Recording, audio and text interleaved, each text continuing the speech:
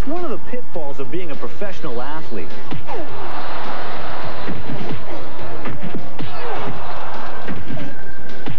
Injuries. Pulled muscles, stretched ligaments, torn cartilage, you name it. The traditional treatment for most of these injuries has been an ice bag and plenty of rest. But in professional sports, time is money. Quicker a highly paid athlete can get back to the playing field, the better.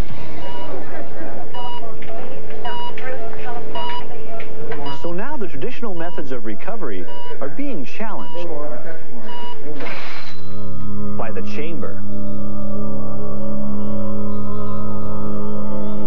Looks like something from a science fiction movie, but actually, I'm in the Toronto Hospital, and this is a hyperbaric chamber. They've been used since the turn of the century to treat divers suffering from decompression sickness.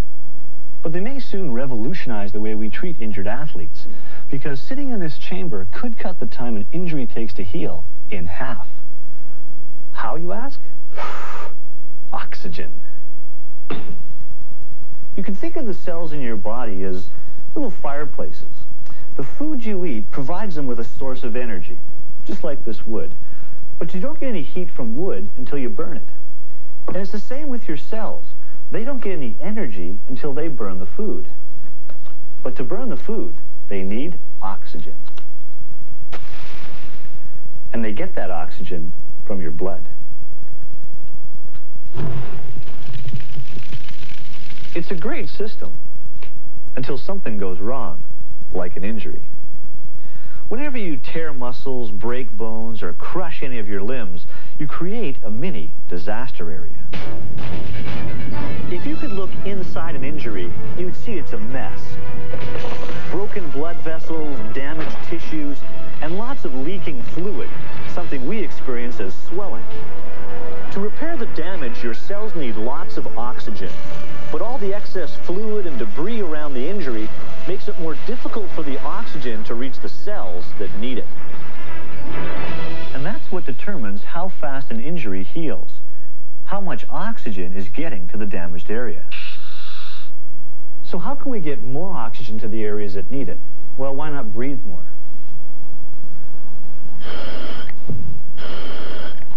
Well, it turns out that even if I were to breathe pure oxygen instead of air, I would still only get a slight increase in the amount of oxygen getting to my tissues.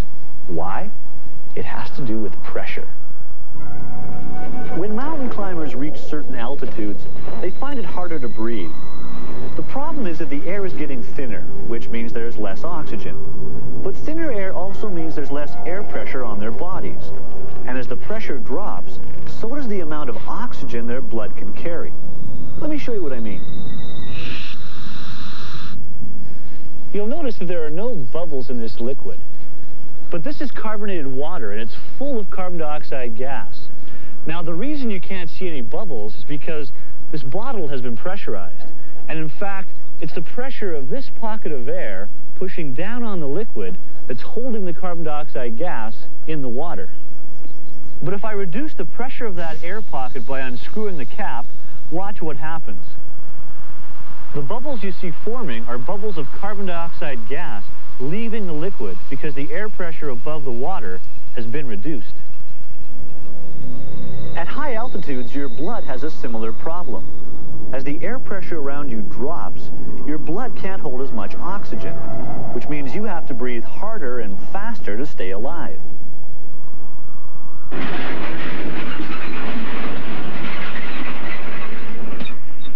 So what does all this have to do with the hyperbaric chamber and injuries? Well, I've been telling you about how your breathing is affected if the pressure around you drops. But what if it went the other way? What if the pressure around you was increased?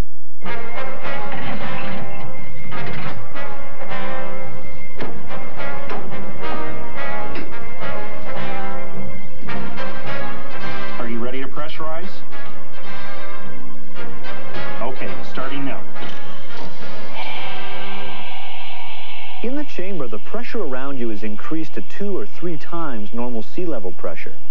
And instead of regular air, pure oxygen is pumped into the chamber. By increasing the ambient pressure, the chamber allows your blood to hold more oxygen. To understand what's happening, let's go back to our pop bottle. If we could increase the pressure inside the bottle again, we could force the carbon dioxide gas back into the water. And that's exactly what happens in a hyperbaric chamber. It forces your blood to carry more oxygen. In fact, this system can allow your blood to carry up to 15 times more oxygen than normal. So how does that help heal an injury? Well, if there's more oxygen in your blood, then more oxygen will reach the cells in the injured area. And with more oxygen, your body can repair the damage a lot faster. So an injury that normally takes four to six weeks to heal might heal in two to three weeks if the athlete spends a couple hours a day in the chamber. Hmm, but why not spend a couple of days in the chamber and heal really fast? Well, it turns out you can get too much of a good thing. If you breathe too much oxygen under pressure, you can deplete some of the chemical transmitters in your brain. If you stay in too long, you can suffer an epileptic seizure. So you have to limit the amount of time you spend in the chamber. And speaking of time... My work here is done. This is 614.